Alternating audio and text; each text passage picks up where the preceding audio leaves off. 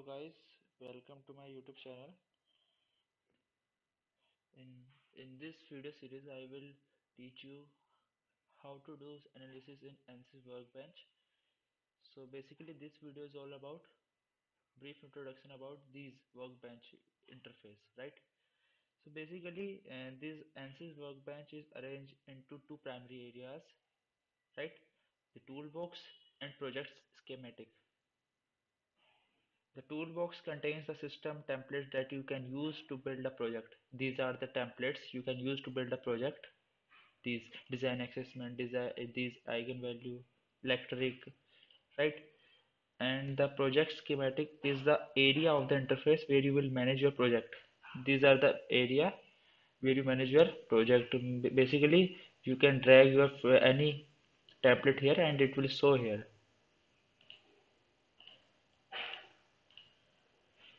okay. So now I will describe these toolbox parts uh, these an analysis systems component systems these uh, custom systems and these design exploration and ACT what is this ACT okay. Uh, so basically toolbox is the uh, presents the types of data that you can add to a project right? And uh, it consists of these minus analysis system custom design and ACT so, so analysis system you will typically use this core set of templates to build your project. Place these templates in the project like this. Fluid flow fluent. So you will drag your templates here in the project schematic to create a system or link system with all the necessary components. You can link your geometry from one system to another systems and these are cells. 1 2 3 4 5 6 these are the cells and the names are these geometry mesh setup solution results. Different for the different systems. Component systems.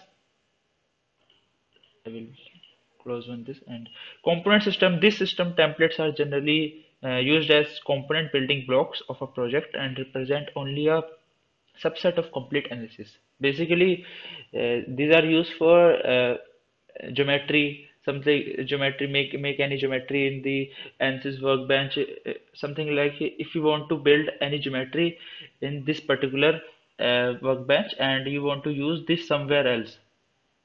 So you can do also these things. I want to say this, uh, I mean to say that uh, these fluid flow uh, that there are two ways. If you you can edit your geometry in DesignModeler or SpaceClaim or import geometry from any CAD software you make the IGS file in the format of IGS or step. Or also you can also do one thing also here that you can first of all drag your geometry section in this project schematic window and you can also build your geometry from this tab okay. And then you transfer your geometry from uh, this system to another system like this. So it match with the mesh directly mesh means you do not need to require uh, build first of all uh, build any geometry then mesh then setup. No. You can also do one thing here that you can geometry you make geometry first and save as the it's a file extension type particular type. Okay? And then you can use geometry anywhere in the uh, next and future sections. Okay? So now comes to the custom systems. First I will close this one by click on this minus sign. Custom systems Custom systems are basically a group uh, that contain a selected set of predefined couple systems. Predefined. These are predefined. Okay. You can also define your own template, right? In this section, custom system. And for the design exploration, it is used to perform various design exploration studies when added to the project schematic. Okay. Something like uh, you can also uh, Mm, you can also use these uh, under the various toolbox group will depend on which product you have installed. Okay? So this system this system analysis system component system custom systems or design explorer. It is different for uh, in different uh, uh, release of ANSYS my my uh, ANSYS version is 19.2 so it may be in different format but uh, the work is same the functionality of all the system will be same. There is no any difference in this case. Right? Okay now comes down to this window. Project schematic. So first of all I will drag one also here. You can also rename this system by just double click on it and just uh, give your name on. Say just like a pipe flow so this uh, particular uh, system got its name pipe flow okay. So now so I think you already uh, I already explained uh, what these circles symbolize. Now I will explain uh, another symbol that is square and how it comes. If I want to share this data engineering data into this system so now it comes with the square symbol. It symbolizes the data shared by this A and B are the same. Means but in the case of circle that uh, there is a transfer of data. Means the uh, data is transferred from one system to another system. There is complete transfer but in this case only data is shared. There is no transfer of any data. Okay? Now this uh, seventh thing. Now I will delete this one by just uh, clicking on this static structure and left click then right click and this option delete. Okay. Now this system and cells are containing seven types 1 2 3 4 5 6 7 and this engineering data. Engineering data means you can edit your material. You can use any aluminum steel uh, available in the material library or import any uh, material different type of material for your uh, analysis purpose. Geometry means you can uh, you are import your geometry. There is a geometry. Or else you can create your geometry in a DesignModeler or SpaceClaim. I will further explain how to design geometry in DesignModeler or SpaceClaim. So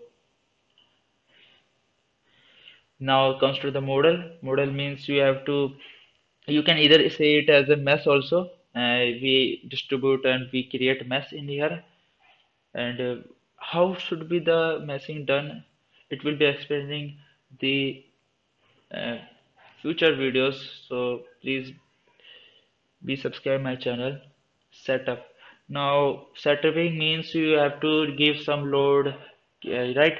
And uh, uh, apply the many boundary condition in this particular cell solution means uh, iteration are done in this particular section or solution of the curves or convergence will be checked in this solution and results means finally the contours vector plots or the gradients pressure everything is seen in this particular cell.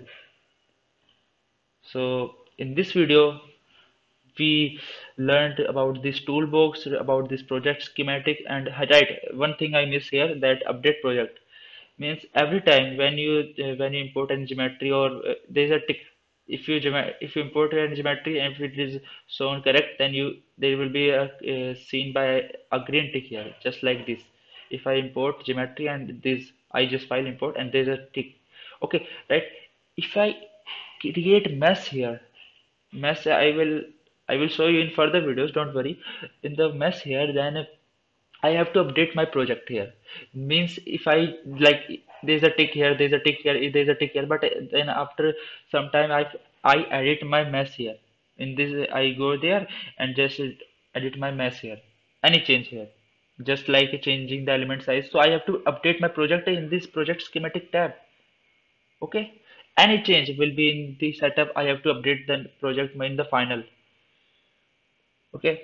So these are the first window this is the first lecture uh, basically about the introduction of this ANSYS workbench window.